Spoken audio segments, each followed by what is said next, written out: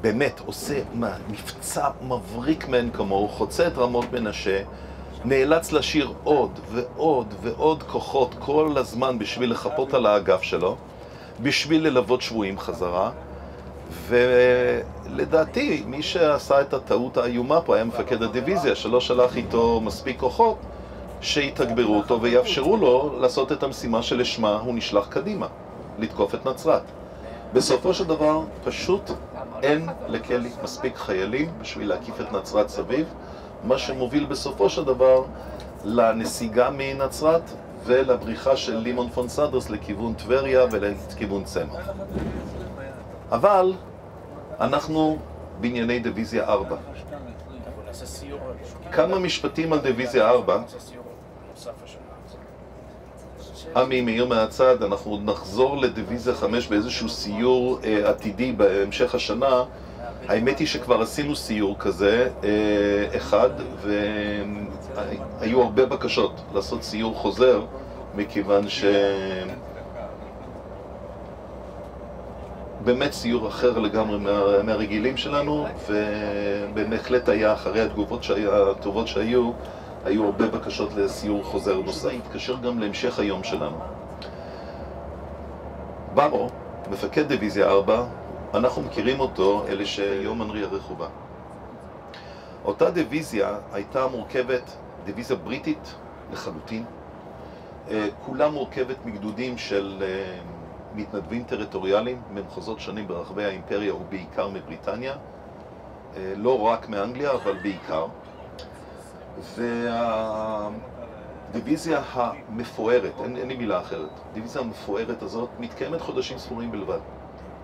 והיא זו שנושאת אה, עליה חלק ניכר מהמערכה לכיוון ירושלים, אה, עם שורה של מבצעים צבאיים אה, גדולים. רק ניתן דוגמה אחת, אה, הנושא של ההסתערות על הודג', אה, שהיא על ידי גדודי יומנרי שדווקא מסונפים לאחד הדיוויזיות האחרות, אבל זה אנשי יומנרי, אבל אולי מעל הכל ההסתערות על מרר, ואחר כך הלחימה במעלה בית חורון.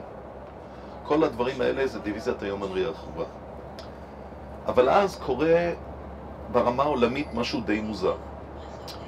תחילת 1918, אחרי שיש אופוריה מטורפת ברחבי אה, בעלות הברית, במדינות ההסכמה, לאור ניצחונו של אלנבי שמביא את ירושלים בצורה שהוא מביא אותה, ומועצת המלחמה העליונה שיושבת בוורסאי מחליטה החלטה שנראית על פניה, בוא נתבטא בעניות מוזרה קצת.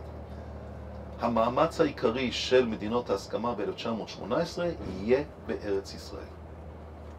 לצורך זה אלנבי יקבל כל מה שהוא רק רוצה.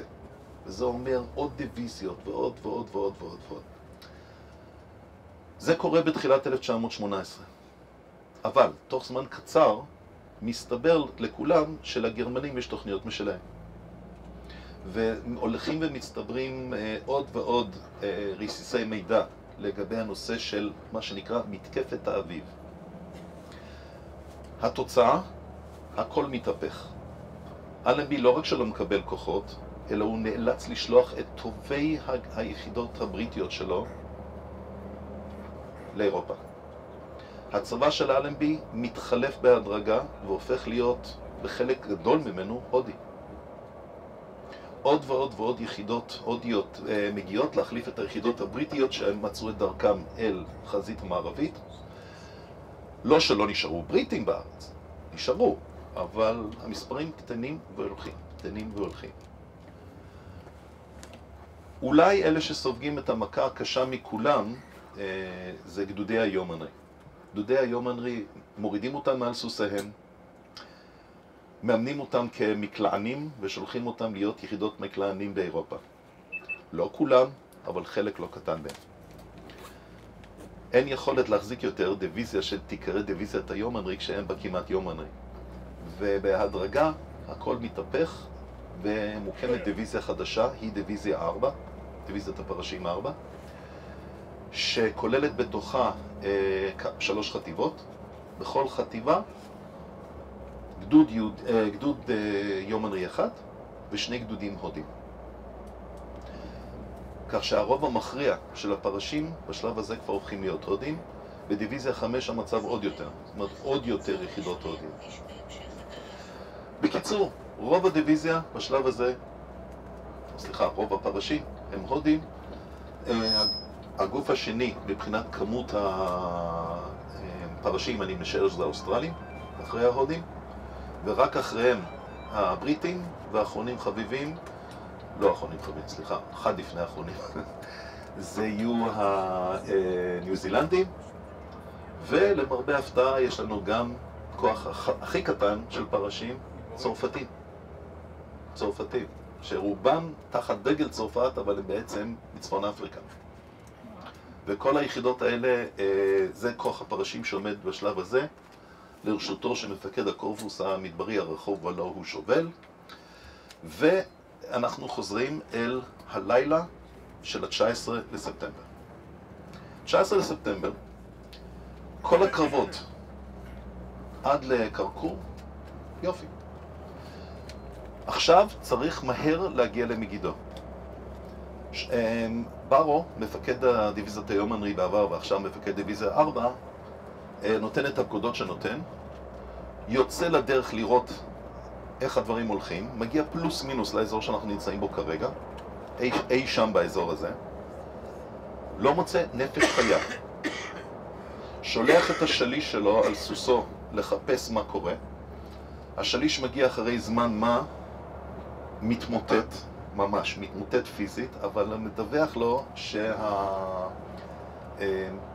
שהיחידה המובילה טעתה בדרך והיא נמצאת מצפון לנו, במקום להיות פה, איפה שאנחנו כרגע. בר עושה את הפקודות שהוא עושה, ובסופו של דבר הוא מצליח להחליף יחידה שדוחפת קדימה. כבר יש פיגור גדול בלוח זמנים לעומת מה שהוא תכנן ורצה. אה, הוא מתוסכל עד כלות, ומוציא את חמת זעמו על המפקד של אותה חטיבה שהתברברה בוודיות מצפון, מפטר אותו לאלתר, במקום. ועמי אמר פה מהצד, ובצדק רב, שלא בטוח שזה היה גם כן מאה אחוז הוגן. במקרה הזה אני קצת יותר נוטה להאמין שבאמת הוא עשה יותר מדי פשלות, אבל היה פה גם הרבה הרבה פוליטיקה. זה היה מינוי שנכפה על ברו מלמעלה, מכיוונו של אלנבי, והוא לא אהב את המינוי הזה. אז הוא חיפש את ההזדמנות. ההזדמנות הייתה האירוע הזה. מכל מקום, כוח קטן של פרשים... כן? אוקיי. ברגע שיש לך איזשהו מקום, תחנת דלק או משהו שאתה יכול לעצור לשנייה... לשנייה. בסדר, אמרג'נסי זה אמרג'נסי, מה לעשות? אוקיי, אז הכוח המת... הראשון שמתקדם מגיע לכאן, לאזור של uh, ערה, כובש את מה שכובש, מצליח להשתלט איכשהו על המקום וממשיך להתקדם בלי לחכות לשום דבר, בניגוד לכל הכללים של הלחימה הבריטית הקלאסית.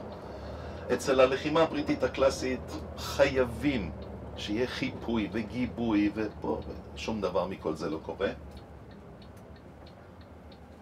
רק רגע, יש לנו עצירת SOS. הוא כוח טורקי שעומד ממול.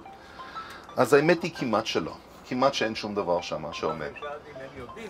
עכשיו, אה, שולחים קדימה כל מיני כוחות בשביל במהירות לנסות לזהות האם יש איזשהו משהו, ולא לא, לא מוצאים שום דבר משמעותי. ברור אבל שחייב להיות ברור לכולם שחייב, חייב, חייב להיות באיזשהו מקום אה, משהו שהפיקוד העליון יודע. לא יכול להיות שהם לא יודעים כלום. וזה נכון. זה לא שלא הבינו, הבינו שקורה אסון בקו החזית, את זה הבינו. ונתנו הוראות מתאימות, ואכן, כוחות טורקים יוצאים לכיוון של מעבר, מה שנקרא אז מעבר מוסמוס, לא קראו לזה ואדי ערה, מעבר מוסמוס. שולחים כוחות לכיוון מעבר מוסמוס, ועוד מעט, כשנגיע לאזור, נגיד מה קרה עם אותם כוחות. אבל תכלס, אה, כמעט שלא מוצאים אה, כוחות, זה בדרך כלל כוחות קטנטנים שמגינים על כפר, מין ז'נד... ז'נדרמיה או משהו מהסוג, קצת חמושים. מדובר על לחמים בודדים, לפעמים כמה עשרות. לא עובר את הנושא הזה.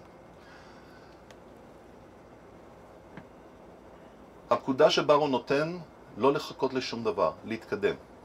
לא מעניין אותו עכשיו כבר כלום, הוא באמת זורק את כל הנהלים המקובלים, את כל הסגנון לחימה, את כל התורת לחימה המסודרת שלהם, הוא מתעלם מהכל, הוא רק רוצה קדימה. ואכן, הוא מצליח להשלים את הפער, והכוחות שלו שזורמים דרך הוואדי די, דל, די דליל בהתחלה, ואחר כך זה מתחזק ומתעצם, מגיעים בסופו של דבר לאזור של לג'ון, אה, מגידו, האזור שאנחנו נוסעים אליו, ואז הם כבר פחות או יותר מתיישרים עם לוח הזמנים המקורי. אה, כוח שמגיע קדימה הוא כלום לעומת מה שתוכנן. בעצם מגיע איזשהו, מה שנגדיר את זה, בהתחלה פלוגה, לאחר מכן זה גדל לכדי גדוד, כאשר בתוכנית המקורית חטיבה הייתה אמורה להיות בלג'ון לפנות בוקר. אז זה לא קרה. אבל בסך הכל הכוח החלוץ שלו הגיע למקום, ואחר כך נראה מה זה עושה. אז בואו נמתין בסבלנות ל-SOSים ונמשיך. בספרייה הלאומית אני יודע שיש, אני מנסה להשיג עותק לעצמי. אה, הספר של ברו כותב על חייו, זה ספר אה, אוטוביוגרפי, Life of Fire, חיים של אש, והפרק שעוסק בארץ ישראל הוא מרהיב, מבחינתי לפחות. הוא מצוטט בכמה וכמה וכמה מקומות ככה שהצלחתי להגיע, נתחיל הפוך. דרך אותם ציטוטים שמצאתי במקורות שונים, הגעתי לעניין העצום בספר הזה. בינתיים לא הצלחתי לשים אה, את היד על עותק פיזי, אבל ציטוטים רבים ישנם. וחלק מהסיפור המוזר של באו זה, הוא מספר כמה פרטים שבאמת לא נמצאים בשום מקום אחר. ולפעמים קשה גם לדעת אם הוא לא מפנטז טיפה. לא, לא מאה אחוז ברור. אני אתן דוגמה אחת, בולטת. הוא מספר שאחרי האירועים שאנחנו עכשיו עוסקים בהם, כאשר לוכדים שבויים באזור של אה, עמק יזרעאל, הוא מספר כיצד סגן צעיר אה, צועד, מתקדם קצת יותר מדי מעבר לכוח שלו בשביל לפקח על המצב, ופתאום נשבע על ידי טור שלם של טורקים וגרמנים. הוא מסביר לשובב מה המצב בשטח, ואז הכוח מחליט להיכנע בפני הקצין הזה, והוא לבד מחזיר חזרה 2,800 שבויים אל הקווים הבריטיים. זה לא מופיע בשום מקום אחר, למרות שכן מופיעים סיפורים דומים על כוחות לא קטנים שנכנעו בפני חיילים בודדים. אז ככה שהאם כל מילה שברו אומר היא בסלע? לא יודע, אבל uh, אין ספק שהתיאור שלו הוא מאוד מאוד חד, מאוד מדויק, מאוד צבעוני, אה, וחלק מהפרטים הם מדהימים. אחד מהם זה קטע שבו הוא מספר כיצד פחות או יותר באזור של אותה תחנת דלק שנעצרנו לא מזמן, אה, הוא יושב על סלע באמצע המעבר, והוא מחכה שהשליש שלו יחזור וימצאו את הכוחות, והוא יושב לבד. חבר'ה, מדובר על גנרל בכיר מאוד. הוא יושב לבד באמצע הוואדי, וכל מיני הורים מעניינים שהוא מצוטט שם. מכל מקום, יותר מאוחר במהלך הלילה הוא שולח את הכוחות לכאן, וכאן, פחות או יותר איפה שאנחנו עכשיו מגיעים, יש מפגש ראשון של אש עם הטורקים. וזה לא, זה קצת הפרסתי בתיאור הזה, מכיוון שתכלס, מה שקורה באמת, זה שההודים, נושאי רומחים, לנסרס, מה שנקרא, אה, מגיעים לכאן, פחות או יותר איפה שאנחנו עכשיו, מוצאים איזשהו מדורה, ויש מסביב כמה חבר'ה טורקים שמתחממים קצת. זה היה הכוח החלוץ שאותו שולח לימן פון סנדרס לחסום את המעבר מחשש שהבריטים יתקדמו. הם כנראה לא הבינו את הפקודות, הם לא הבינו מה המצב.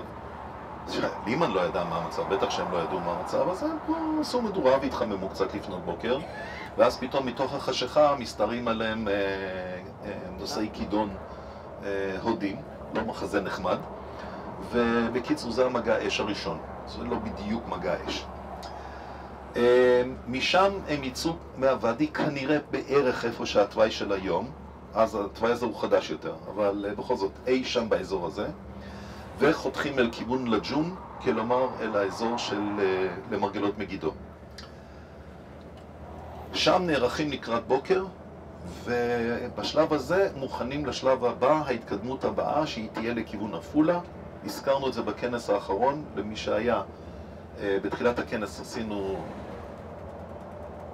מיני סיורון, אני חושב שזו ההגדרה, מיני סיורון, זה, זה לא היה סיור, לא סיורון, מיני סיורון, אה, שבה צפינו על האזור של אה, שדה הקרב שנעסוק בו עוד מעט אחרי שנאסוף את האנשים האחרונים.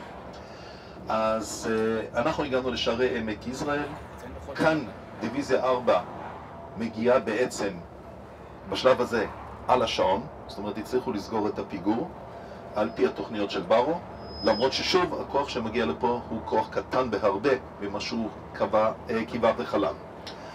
אה, כפי שנראה בהמשך, זה לא הפריע, ובסופו של דבר כל המטרות של דיוויזיה 4 הושגו במלואן, כולל המשימה הכי לא מתקבלת על הדעת, של להגיע בזמן גם לבית שאן, ובזה נעסוק אחר כך. אז אנחנו נעצור פה רגע, נאסוף את החברים. אה, מה שהבקשה זה ככה. אה, אני אשאיר לנו עכשיו כאן, אני נולדתי. בואו נחזור אלינו. אז ככה, עד עכשיו דיברתי כל הזמן על דיוויזיה 4, אבל לרגע נעזוב את דיוויזיה 4 ונתייחס לדיוויזיה השלישית, זאת שלא היה מספיק מקום בשבילה לנוע בקו הראשון, והינה מאחור, הדיוויזיה האוסטרלית הרכובה. הדיוויזיה האוסטרלית הרכובה הופכת להיות הגיבורה של החלק השני של ה-20 לחודש, היום שבו מגיעים כוחותיו של אה, שובל או של אלנבי, אה, מגיעים אל כל קצוות העמק ואל האזורים שמסביב, והדיוויזיה האוסטרלית מגיעה לפה, לצומת, לאזור לג'ון, ואחרי צהריים הם מקבלים פקודה לנוע ימינה מאיתנו אל צפון השומרון, אל ג'נין. המערך הטורקי בשלב הזה קרס לחלוטין, בעיקר במערב השומרון, ויש כבר דיווחים מהאוויר על מסות אדירות של uh, טורקים שנעים כמו שהיה צפוי, שזה בנו את המלכודת הזאת בשומרון בדיוק כמו שבנו אותה, uh, נעים לכיוון העמק ולכיוון מסילת הרכבת, מכיוון שמסילת הרכבת זה האמצעי המהיר לפינוי מקו, מקו החזית. האוסטרלים אה, דוהרים במהירות מפה אל ג'נין, לא רחוק מאיתנו ימינה. אה, כבר בדרך מתחילים לתפוס יחידות שעולות למעלה על הגבעות וממתינות לטור הגדול הבא של השבועי הטורקים שיבואו ואז עולים עליהם מלמעלה. בדהרה ובג'נין עצמה, בוקה ומבולקה, אה, העיר נופלת לידי האוסטרלים, התושבים מתקוממים וכשאני אומר מתקוממים זה לא נגד האוסטרלים, אלא הם פשוט עולים על המחנות ובוזזים כל דבר שרק אפשרי. אה, האוסטרלים מדווחים שלעיתים נאלצו לפתוח באש, רק כדי להדוף את ההמון המשולהב שמכסח כל דבר אפשרי. המח... לא, המחנות של העות'מאנים, של העות'מאנים, גרמנים, טורקים. חבר'ה, אני לפעמים אומר עות'מאנים, לפעמים אני אומר טורקים, אבל בסך הכל אנחנו מדברים על, עדיין אין טורקיה מודרנית, אבל יש עמים טורקים. אז הנושא הזה קצת מבלבל. האימפריה העות'מאנית קורסת, חודש לאחר הקרבות שאנחנו מדברים עליהם עכשיו. אה, מתחיל מלחמת העצמאות של טורקיה המודרנית.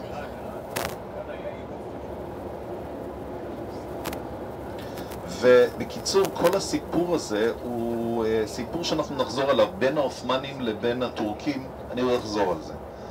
משמאלנו, קרוב מאוד לאזור של האקליפטוסים, הם לא במקרה פה, היה אה, אזור של בירקה טבעית, בירקה תפולה. כאשר הכוחות הקדמיים של ברו יוצאים מלג'ון אל עבר עפולה בשעות המאוד מוקדמות של בוקר ה-20, אה, כאן הם נתקלים לראשונה בכוח טורקי גדול, כאשר הכוח הזה יצא מנצרת, והוא בעצם הכוח שאמור היה לנסות לחסום את אה, ואדי מוסמוס, רק שאף אחד לא הבין את הדחיפות, והם באו די לאיטם. עם זאת, מתפתח פה קרב אה, קצר, אבל מאוד מאוד מרשים, הירואי של קרב פרשים של ממש. במקרה הזה ההודים נושא הרומחים, אבל אה, גדוד שלא שייך לסיפור המאוחר יותר של היום, אה, מצליח לעשות פה תנועת איגוף רחבה, פלוס מינוס איפה שאנחנו עכשיו, אה, ולסגור על הכוחות אה, שנעו במקביל לכביש של היום לכיוון, אה, אה, לכיוון מוסמוס. לא, לא. למי אתה מדבר? לבריטים? לבריטים היה שריוניות. אה, מכוניות משוריינות נקרא לזה. אז אה, בקיצור, קרב קצר אבל מאוד מאוד מרשים עם כמה תיאורים מאוד דרמטיים של אה, לחימה של אה, אה, ההודים במקרה הזה. ואגב, כשאני אומר הודים, בואו נרחיב טיפ, טיפה על הנושא הזה, נבין על מה מדובר. אנחנו כמובן יודעים שהודו הייתה היהלום שבכתר של האימפריה הבריטית. ולצורך העניין הזה היה צבא הודי. הצבא ההודי היה ברובו, כמעט כל שדרות הפיקוד שלו היו בריטיות, או אנגליות למען הדיוק, הרוב. יחד עם זאת, נוצרו שורה שלמה של, אה, אה, נגדיר את זה יחידות צבאיות שחלקן צבא וחלקן מיליציות שגויסו על ידי כל מיני אה, מהרג'ות למיניהם. ושני הדברים האלה, כאחד, הצבא ההודי הסדיר, או הצבא הבריטי-הודי הסדיר, יותר נכון להגדיר את זה, ומצד אחד, והמיליציות של המהרג'ות, כולם לוחמים במסגרת מה שאנחנו היום מכנים הכוחות ההודים בארץ ישראל. אמ, בשלב מסוים המהרג'ות, ממש החיילות שלהם הופכים להיות חילות מסודרים לכל דבר ועניין, על אף ששוב, הם בסך הכל שייכים, כולם, כולם שייכים עדיין לאותם מהרג'ות.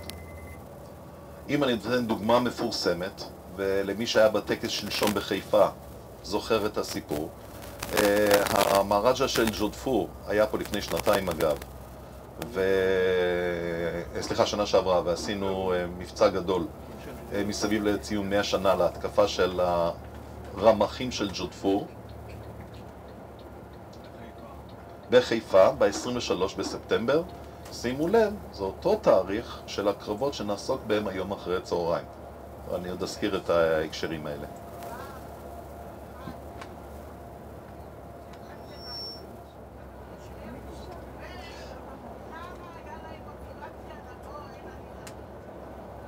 נתחיל עם השאלה הראשונה, שהיא היותר פשוטה. אה, לאימפריה הבריטית יש המון מושבות, והמושבה שנחשבה לעשירה מבחינת אה, כל מה שיש לה להציע, ולכן גם היא, האימפריה הבריטית שומרת עליה הרבה שנים אחרי שמושבות אחרות כבר יצאו לחופש ולעצמאות, זה אה, הודו, נחשבה לעשירה ביותר במושבות הכתר הבריטי מסביב לעולם, ומכאן הכינוי היהלום שבכתר. אז זה לגבי אה, הודו, לוקח לה הרבה זמן להגיע לעצמאות. אה, ואין ספק, עד היום אנחנו רואים את המורשת הבריטית שמוטבעת עמוק עמוק עמוק בתוך ה... אני אומר, כל שדרות החיים של אה, הודו, עד לעצם היום הזה. כמובן עם ההתאמה ההודית הרלוונטית. אה, לגבי השאלה השנייה, השאלה השנייה זה שאלת מיליון הדולר שאנחנו שואלים אותה חזור ושאול פעם אחרי פעם אחרי פעם אחרי פעם לאורך כל, ה... כל הזמן. מה בשם שמיים יש למישהו מניו זילנד, חבר'ה, ועוד אבוריג'יני מאוסטרליה, ואנחנו נעסוק באבוריג'ינים עוד מעט, מה יש להם לחפש פה? אז התשובה היא... ואבי מוסיף, אבי נבון מוסיף שזה בכולם מתנדבים, ואכן כך. חברים, אנחנו לא יכולים לשפוט ולנתח את זה בכלים שלנו היום. אנחנו בעולם אחר. העולם שאנחנו עוסקים בו לפני מאה שנה הוא עולם של סמלים, הוא עולם של טקסיות, הוא עולם של אה, מסורת, הוא עולם אימפריאלי. ולכן, for king, עבור המלך, עבור המלך ועבור האימ- האימפריה. זה מה שמוביל אותם. עכשיו, תכלס, חבר'ה צעירים לא חושבים כל כך על מה זה אומר מאחורי זה, ולכן הרבה חבר'ה צעירים גם ראו בזה הזדמנות נהדרת קצת לנסוע ולטייל בעולם. מה שראינו באוסטרליה, לעשות על מלחמת העולם הראשונה, אז הולך בכפרים אומרים יאללה, ונעזוב את השימון. לו עבודה. אז אנחנו מוצאים שלא מעט מקומות בעולם, אנחנו מוצאים כיצד החבר'ה פשוט אומרים איזה הזדמנות, נראה עולם. תראו, לפני מאה שנה אנשים לא טיילו, לא הסתובבו בעולם. והרעיון, לפעמים אנשים לא יצאו מגבולות המחוז שלהם, ולפעמים אפילו מתחום העיר שלהם. ופתאום יש להם הזדמנות. עכשיו, זה, אתה, אתה לא חושב על הרעיון ש... רגע, זה עלול להיות מסוכן. אז זה לא חושבים. וזה חלק שני של העניין. אבל בצורה הרשמית, אם אני מחפש את ההנמקה, שוב, משהו שזר ומוזר לנו בעולם המושגים שלנו היום, for king and empire, עבור המלך ועבור האימפריה. זו התשובה הטובה ביותר שאני יכול לתת. לגבי מקומות כמו מיעוטים קטנים, כמו אבוריג'ינים, כמו מאורים, כמו יהודים, ועוד ועוד ועוד, מצטרפים עוד כמה נימוקים. חלק מהם זה להוכיח אני חלק מכולם. ובמקרה היהודי זה בולט במיוחד, אבל לא רק ביהודי, ואנחנו בדיוק עוסקים בזה עוד מעט כשנגיע לצמח באבוריג'ינים, עוד נדבר עליהם. אז אה, בואו נחזור אל האוסטרלים. האוסטרלים אה, לקחו את ג'נין ובמשך היממה הקרובה הם אה, ישבו שם כמות אסטרונומית של שבויים. גם היחידות הבריטיות האחרות וההודיות אוספות עוד ועוד אלפי שבויים. אנחנו לא מדברים פה על אלף אלפיים, אנחנו מדברים על עשרות אלפים במצטבר.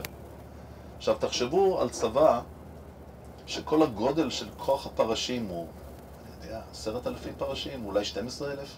רשמית אומרים 12 אלף, אבל זה כולל גם פרשים שהיו בבקעת הירדן, ולכן אני מעריך שמדובר על עשרת אלפים סך הכל. העשרת אלפים פרשים האלה צריכים לעשות את כל המשימות הצבאיות בכל רחבי המרחב, מהכרמל, נצרת, אה, בואכה עפולה, בית שאן, ואחר כך לכיוון הכנרת.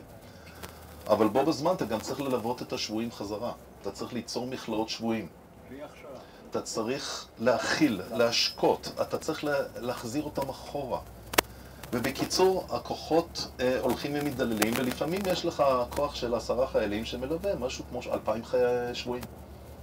וזה נראה הגיוני. ולכן כל המציאות שאנחנו עוסקים בה היא מציאות קצת הזויה ומוזרה ודי קשה להבנה, אבל תכלס, זה הסיפור. גם לא היה להם שום כוח ייחודי למטרה הזאת. נכון. אה, אה, ערן, כשהיינו באוסטרליה, הלכנו בכל מיני מוזיאונים. אחרי שעפולה נתפסת, ועסקנו בנושא של קרבות עפולה ומסביב לה בסיור שהזכרתי וכמובן בכנס האחרון, אני רוצה להתמקד כרגע דווקא בכוח קטן יחסית, אה, חטיבה, שמקבלת פקודה קצת מוזרה. אה,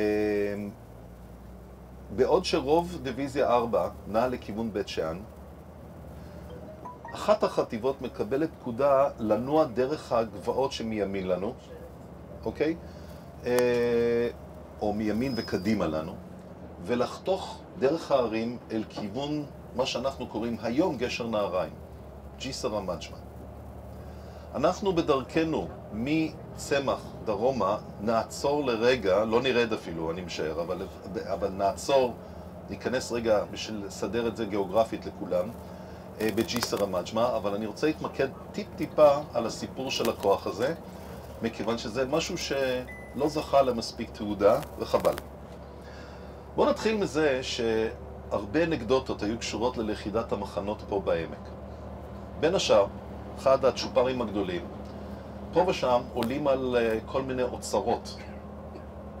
אני מדבר כרגע מבחינת זווית הראייה של אה, חייל, אה, או קצין יותר נכון, אנגלי. אתה נופל על המחסנים של היין של הגרמנים.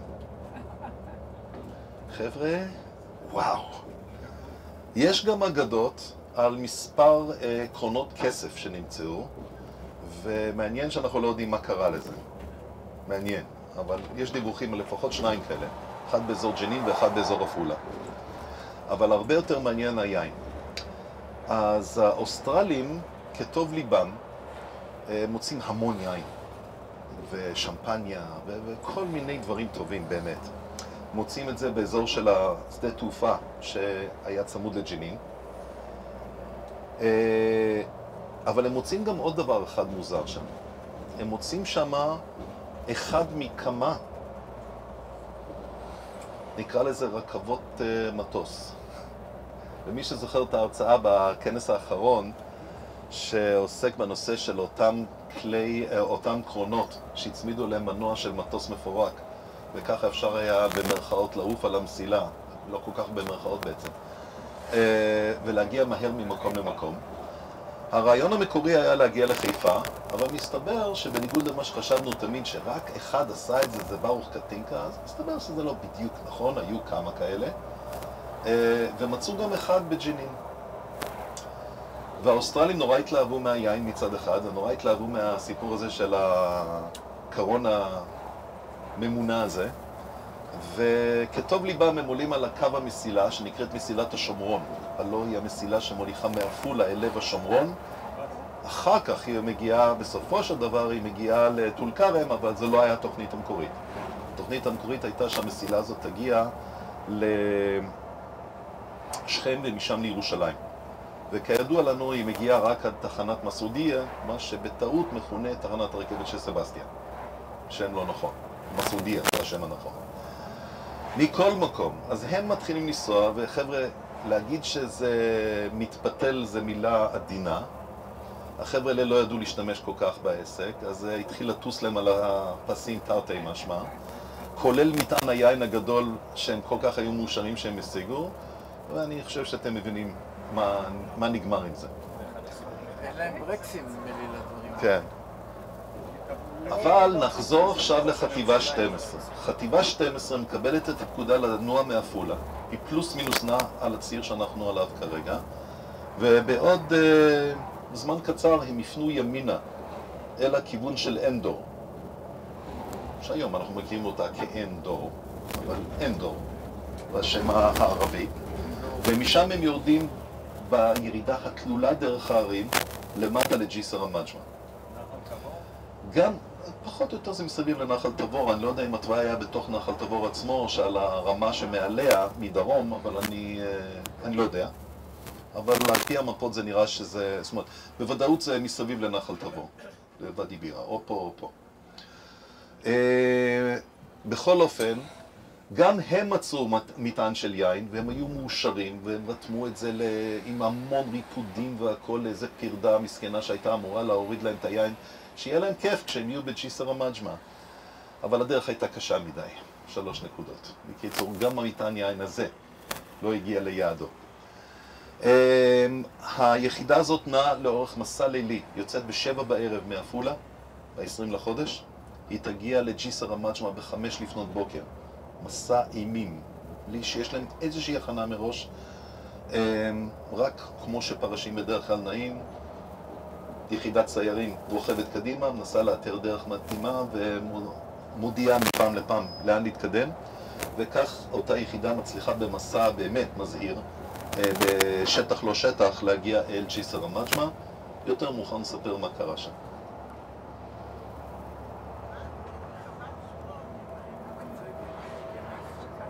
לא מצליח לשמוע את השאלה. אם שפון אה, הייתה מפקדה, הייתה מפקדה ראשית שלקחו אותה. ברור שהיה שם. בדיוק כמו שהיה באוגוסטה ויקטוריה, בדיוק כמו שהיה בשכם וכמו שהיה בטול כרם, למרות ששם היו מפקדות אה, אה, טורקיות לכאורה, אבל תכלס, המון בשדרת הפיקוד הגבוהה, הבכירה, הייתה גרמנית, והם דאגו לעצמם. אה, מניסיוננו וידיעתנו, אה, גם הטורקים לא כל כך, למרות מוסלמיותם. אה, למשל, אה, על ג'מאל פאשה אנחנו יודעים אה, ממש משתאות שלמים, אה, בעיקר בירושלים, אה, שהוא שותף בהם עם אה, דמויות מאוד, מאוד מדווחות ומתועדות, לרבות כל מיני אה, אלמות חן יהודיות שנמצאות שם, חלקם במשימות ריגול, חלקם סתם בגלל שהם חיפשו את החיים הטובים. יש עדויות מאמצע המאה ה-19 של יקבים בירושלים העתיקה. נכון. חנות שהטורקים היו נכנסים, החיילים, היו נכנסים לקנות ערק לכאורה, ויוצאים כמובן עם בקבוקי יין. אה, הגיוני. הרוב פה היו. גם במסגרת העמותה וגם אני משער במסגרות אחרות. כרגיל, צריכים משוגע לדבר. בלי עין הרע באוטובוס הזה יושבים כמה משוגעים לכל מיני דברים, גם מלחמת העולם הראשונה וגם תחומים אחרים. אה, במקרה של אה, צמח, המשוגע אה, שם זה הסמנכ"ל של מכללת כנרת, זיו אופיר. כמובן שבכל מה שקשור למלחמת העולם הראשונה הוא מצא בנו ובי פרטנרים וחבר אישי במשך השנים ואנחנו עושים המון המון דברים יחד. אה, למי שזוכר, הפצנו, ואם לא ראיתם את זה אז אפשר לראות את זה באתר האינטרנט של העמותה, בסרטונים שישנם בתוך האתר. הכנסנו בין השאר גם את הסרטון שעוסק בנושא של צמח לציון 100 שנה לקרב של צמח. אה, משהו שהפקנו זיו ואני יחד עם עוד כמה אנשים שעזרו לנו. אה, אנחנו מדברים, אתם יודעים מה, אני אלך צעד אחורה. האוסטרלים הרבה פעמים, ואתם נתקלים בזה תמיד, הנושא של התיאור וההגדלה וההדרה וכולי וכולי של קרב באר שבע. בין השאר, אתה נתקל באמירה המאוד מוזרה, האוסטרלית, שזה קרב הפרשים האחרון. יש רק בעיה, ששנה אחרי זה בדיוק, אותן יחידות אוסטרליות מעורבות בהסתערות עוד יותר גדולה, מספרית, ואולי יותר מי- מיוחדת ומעניינת מאשר ההסתערות של באר שבע, שנה אחרי. אבל ככה עובדת התקשורת, ההיסטוריה, ה-PR, כל מה שקשור לנושא של יחסי ציבור. בקיצור, אה, קרב באר שבע הוא עדר, בעוד שקרב צמח לא זכה לאותו, לאותה רמה של אה, עניין. כשהייתי בקמברה לפני שלוש שנים, קידום מכירות, מודעות, תקראו לזה איך שתרצו, אה, לקראת ההגעה לבאר שבע ב-2017, אה, הדבר היחיד שהתעקשתי, אמרתי להם, חבר'ה, לא מעניין אותי שום דבר, אבל בקמברה אתם נותנים לי יום אחד לעצמי. והגעתי ל... בסוף זה היה חצי יום, אבל לא משנה. אה, הסתובבתי, ולתדהמתי גיליתי שקרב באר שבע תואר, אבל לא באותו עוצמה כמו שציפיתי, ולעומת זאת קרב צמח זכה לדיורמה פשוט מדהימה שקיימת שם היום. והדיורמה הזאת, אמ, זיו סיפר לי שכשעוד הכל היה בחורבותיו, אה, פתאום הגיע אליו איזה מישהו, נראה כזה שלוך ומוזר, וסיפר לו שהוא אומן אוסטרלי ושהוא קיבל אה, אמ, הנחיה לעשות את הדיורמה הזאת, והוא רק בא להגיד שלום. הוא בא להגיד שלום ביום שהוא עזב, כן. אז ככה שזה היה די מפתיע, אבל העסק הזה היום אה, מעניין עד כמה שזה במוזיאון המלחמה באוסטרליה, הם מבינים היטב עד כמה שהדבר הזה גדול. אמ, אבל כמו שאמרנו, PR זה PR.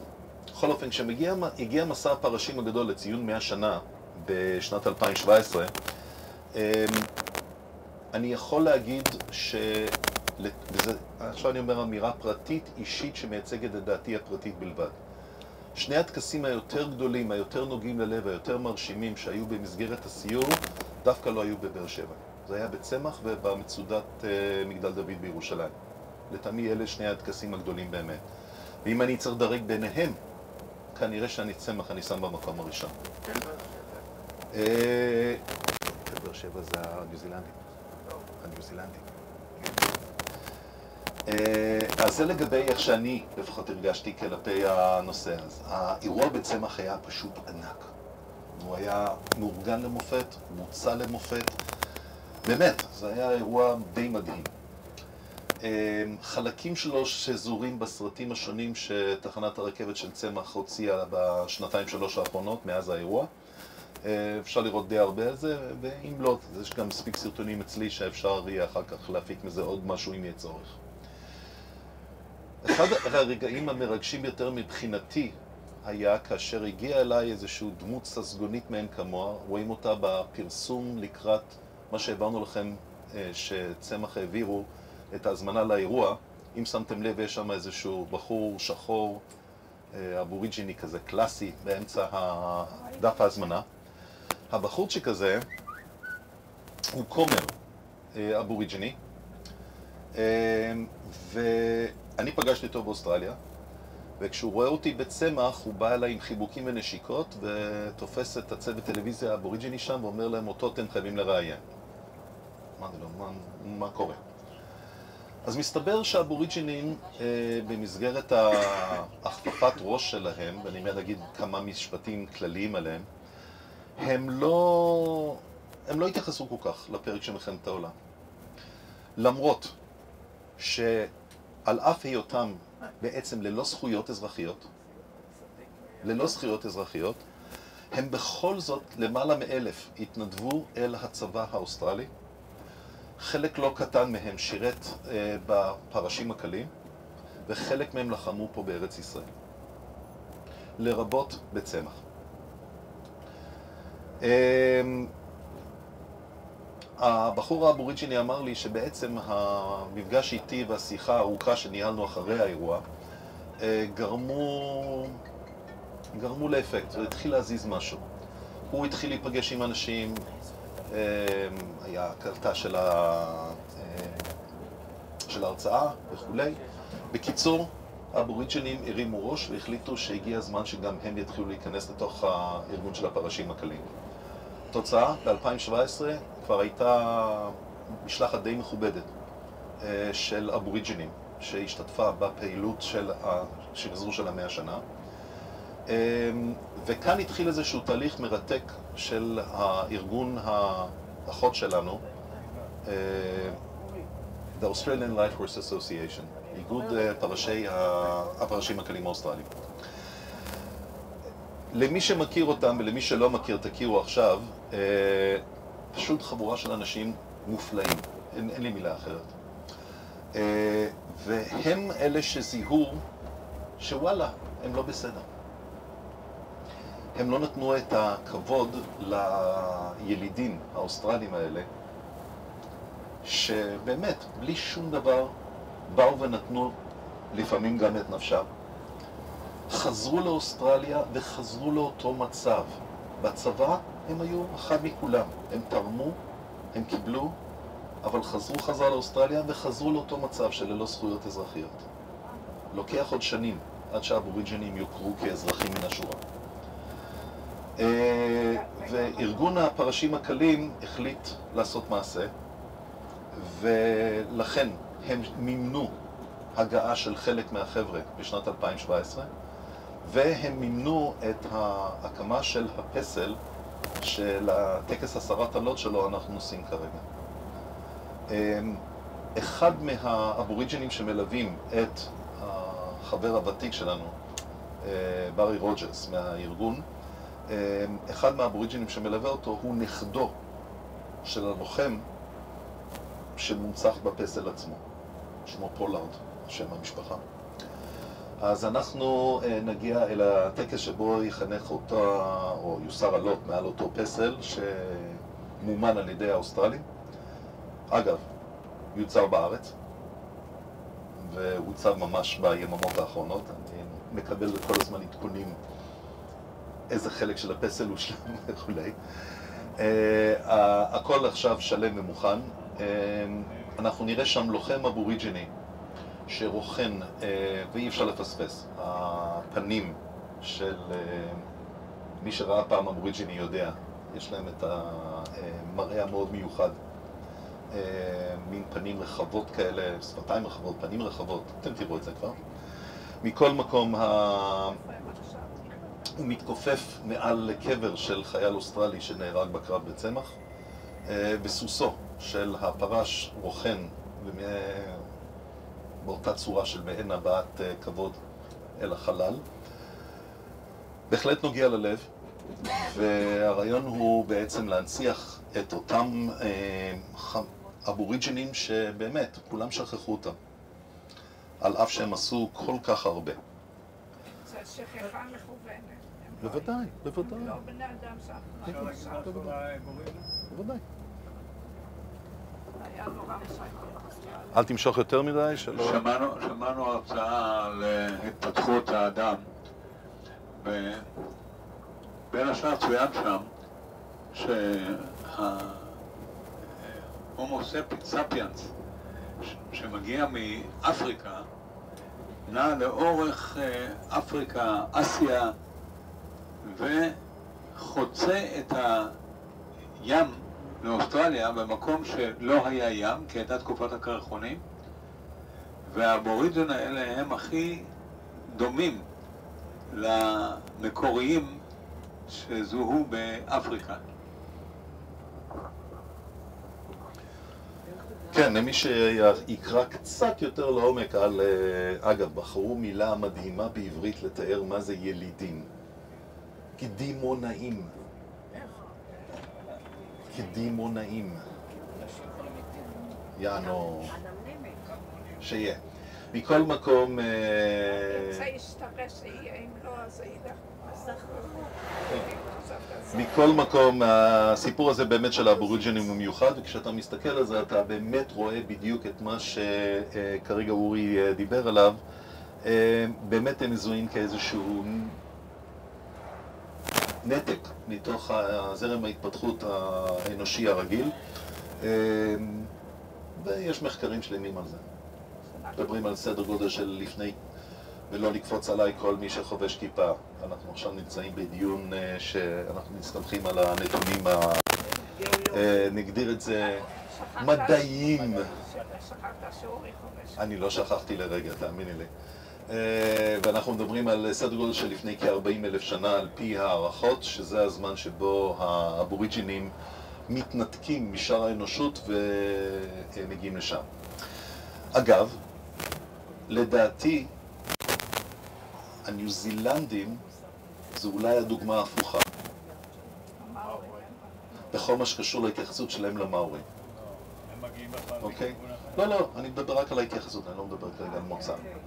אה, אנחנו רואים כיצד המאורים, שגם הם לחמו פה בארץ ישראל, אה, לכל מי שנכח באחת מהטקסים של הניו זילנדים, בניו זילנד כל נאום כולל בתוכו ברכות במאורית, לצד הברכות באנגלית, אה, כתובות, לשונות וכולי וכולי.